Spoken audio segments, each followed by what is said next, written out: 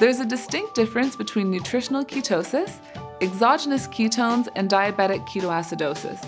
Nutritional ketosis is the process of your body breaking down fat as a source of fuel and creating ketones. And this only happens when you're following a very low carbohydrate and high fat diet. Exogenous ketones, so taking keto OS, is drinking ketone bodies without pushing your body into nutritional ketosis, but still elevating the blood level of ketones. Diabetic ketoacidosis is a dangerous state that occurs in the absence of insulin. What happens is your blood sugar levels rise, but it's insulin that needs to pull the sugar out of the blood into the cell. In the absence of insulin, the blood the blood can't deplete itself of the sugar. The sugar will not go into the cell. So your body thinks it's starved of energy and starts making ketones.